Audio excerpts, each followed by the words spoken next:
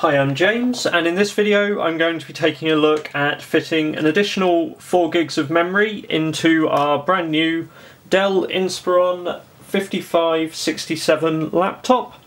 So first thing we need to do with this, and it should be, hopefully, a relatively simple process. We are going to flip over the machine like so, and to begin with we just have to go round and remove all of the screws from the base.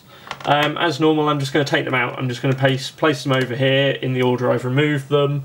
Um, I don't believe they're all different sizes, but this way, just if any of them are, then it's easy enough to work out what came from where. So we, we've gone with this model and we're upgrading it to 8 gigs of memory. Um, I actually intentionally bought the base spec, first of all because I didn't feel the upgrade to, uh, smaller screw there, didn't feel the upgrade to uh, 8 gigabytes was particularly good value. Um, it was a lot cheaper to buy an additional module myself and fit it. Now obviously this has an impact on the warranty, but with what I'm going to use this machine for I'm not too concerned. And also the 8GB version of the machine only came with uh, a single 8GB module and because I want to use this laptop for performance testing with integrated graphics I'm going to be testing in dual channel configurations.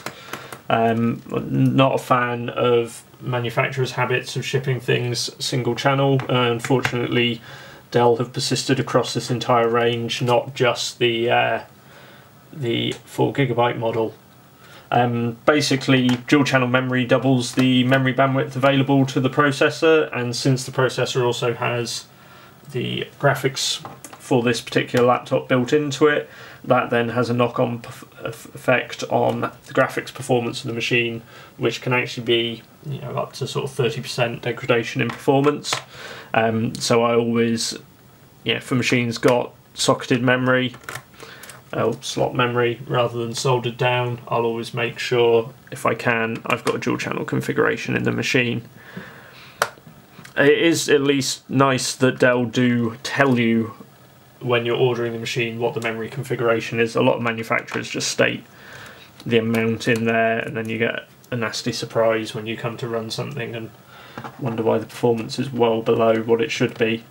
Um, I also don't like it when manufacturers put uh, unbalanced configurations, say 6 gigs with a 2 and a 4, or um, 12 gigs with 4 and an 8, as that can give some interesting performance issues as well.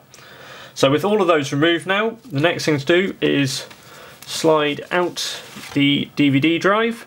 That was held in by that screw there and possibly that one there as well, although I'm not sure on that side.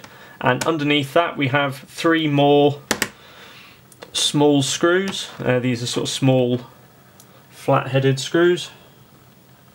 Same screwdriver seems to do the job for these. We could possibly go down a size on the tip for them, but that's doing the job okay. Um, I actually don't worry too much on the warranty side on this as well because if we're careful and using our plastic pry tool, we shouldn't leave any sort of marks. Obviously, if you do have an issue and your warranty is voided, that's you know done on your own off your own back. Now with those screws removed what I'm going to do is just turn the laptop around so I can see a little better.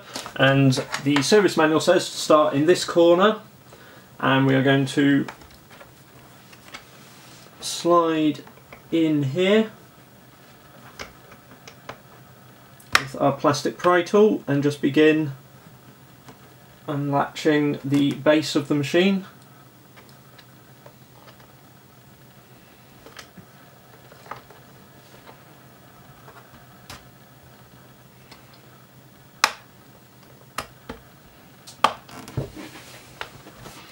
So with that corner done, I'm now going to then try and go around the side here, unlatch there, and then with that opened up it should be easier to go around and get some more.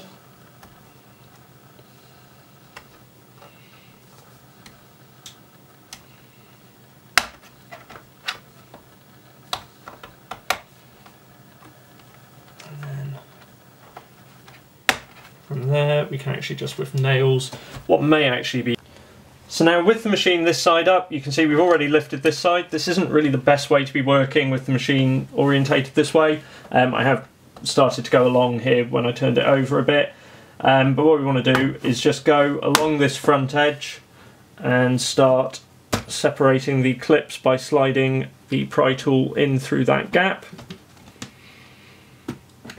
and basically if you just press down it pushes the black plastic forward and allows the top panel to pop out. What we're going to do now is for the final section we're just going to flip the machine over and with it all lifting up now what we want to do is just pull from this end and the final clips should come out there and that gets us inside the machine. So I'm just going to turn that round so I think it looks better this way. Um, so what we have here, single DDR4 module. We are going to add our second 4 gig module. This is a crucial uh, 4 gig DDR4 2400 module. Um, so that's a Micron DDR4 2400 module in there, but that should give us a match pair in terms of performance and should all work nicely.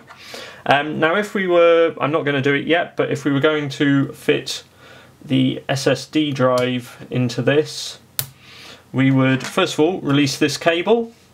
We can then move that back out the way.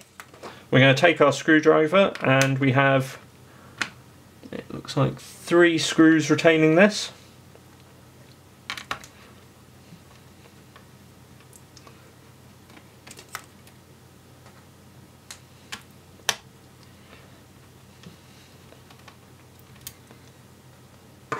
So with those removed, we should now be able to lift up the hard drive. I'm going to turn it over and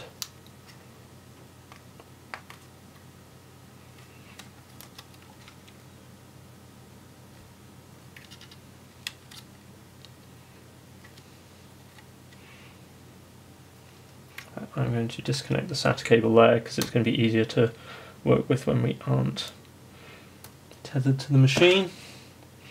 So to pop that out we just want to get a little catch lifted there, pop that out, then pull that connector off. So that gets us our drive free and then we have four screws holding it into this caddy so we can take those out and attach and fit in an SSD into there. And now because I'm not doing that right now I'm just going to reattach that and reconnect to the hard drive.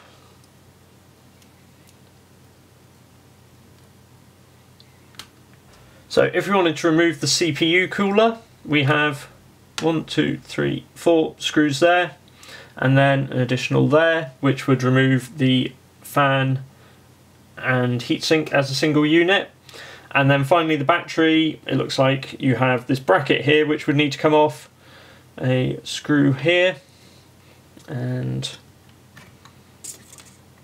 that one is shared with the hard drive, so it would be a case of those four screws, connector here, connecting to the hard drive itself, and then you could remove, uh, sorry, the battery, and then you could remove that Anyway, I hope you found this video interesting. Um, memory upgrade and hard drive change on this laptop, relatively simple.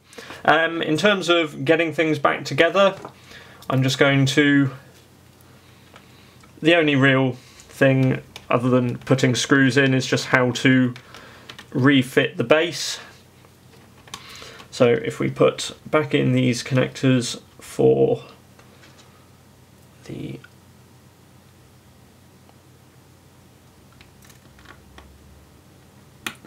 back in these screws for the hard drive. This slots into here for the little daughter board over there and relatch that. So finally to refit the base, what we want to do is we want to start at this end with the majority of the ports on it and we want to line up this back corner so that it fits in round by the hinge and then press down.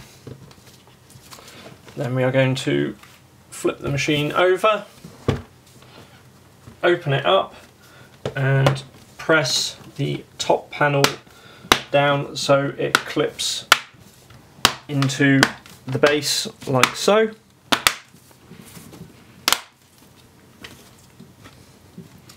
And with that done, all that should remain now, just making sure we are happy with how all of that is fitted in. All that remains now is to flip it over, put the screws back in, and hopefully everything should be good. So using this we've gone to 8 gigabytes of memory in a dual channel configuration and if you want to change the hard drive or fit an SSD as well then same process is involved. I hope you found this video useful. Um, be sure to subscribe to the channel if you want to see some of the performance testing we're going to be doing with the i3-7100U in this machine. And uh, let us know what you'd like to see in the future. Thanks for watching.